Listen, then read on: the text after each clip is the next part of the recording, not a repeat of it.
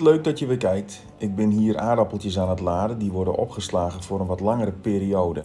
Nou, dit moet heel zorgvuldig gebeuren. En moet je een klein beetje opletten dat de valhoogte niet te hoog is. En dat de aardappeltjes voorzichtig worden opgeladen. Ondertussen komt daar mijn collega Gerald ook al aan. En ehm, ja, het is lastig keren hier op de weg. Dus ja, Hey Bakker, kan ik daar eh, bij jou passeren? Kan ik achter jou draaien of eh, moet ik achteruit er naartoe? Je moet eigenlijk even achteruit hier naartoe. Je bent net eh, langs een straatje gekomen. Als je daar achteruit eventjes eh, naartoe wil gaan en even wil keren, dan ga ik even voorbij. En dan kan jij achteruit eh, naar die laadplaats toe. Oké, dankjewel, komt goed. Tot zo. Yo, succes, tot zo.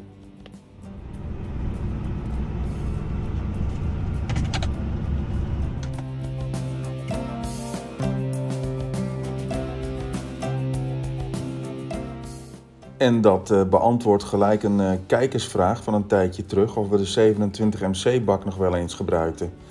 Nou, die kan af en toe heel erg makkelijk zijn.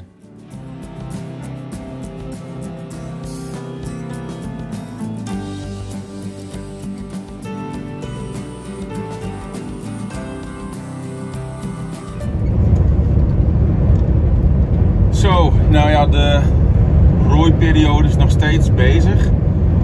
Maar ehm, het is natuurlijk ook zo dat het, eh, de export van het eh, pootgoed allemaal op gang eh, komt. Hè? En dat betekent dat je nu ook ja, de schepen een beetje vol moet laden. Want dat pootgoed vanuit Nederland, ik heb het al eens eerder gezegd, gaat de hele wereld over. Dus ehm, dat gaan we nu doen. Ik heb er een uh, touwlijn erachter. En eh, ik ga een paar vrachtjes eh, van Marco rijden. Big bags en eh, gewoon losse balen opladen. Die naar de haventjes brengen in Amsterdam, IJmuiden, Harlingen. En dat gaat dan de hele wereld over. Dus eh, dat ga ik nu even doen.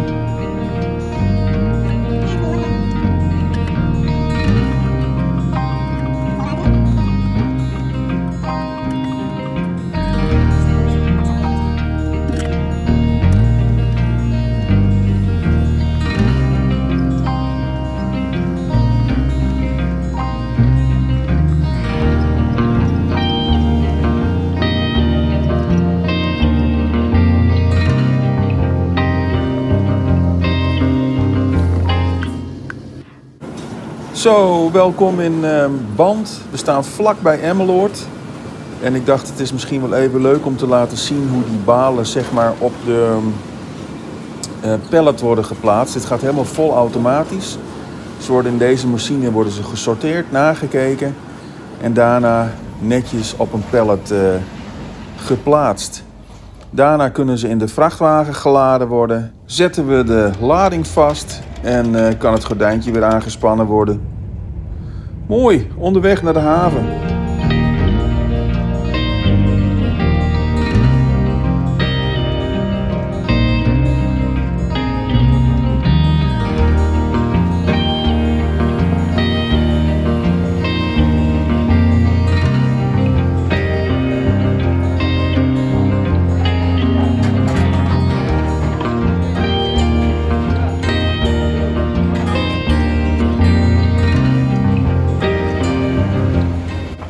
Nou, tijd om te lossen. En het gaat eh, hartstikke snel, want deze heftruck heeft uitschuifbare lepels. Dus je hoeft maar één kant van de touwlijner los te maken en hij eh, haalt het er zo uit.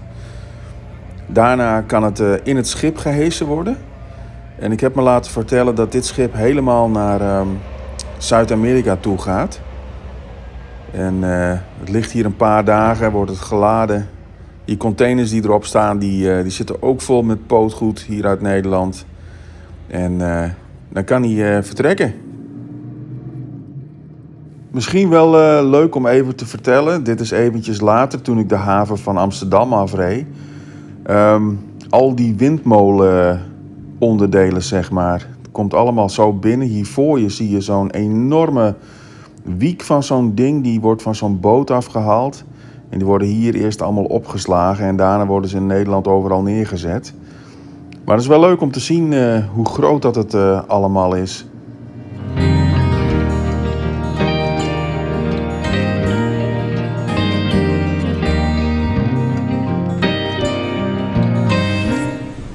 Die eh, collega die hier voor me rijdt met die kooiaap achter zijn touwtlijner nog eventjes. Die doet het al jaren. En die, eh, ja, die vindt het prachtig werk. Hierboven zie je AB Tessel, boven het poortje. Dus deze uitgang moeten we hebben. En in Amsterdam staat er ook bij de ingang eh, AB Tessel. Dus dat kan niet missen. Mooi, we gaan het haventerrein afrijden.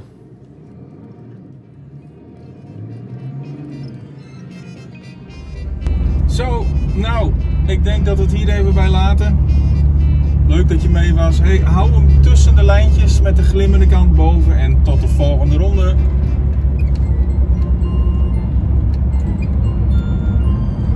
Hey, leuk dat je eventjes mee was deze reis.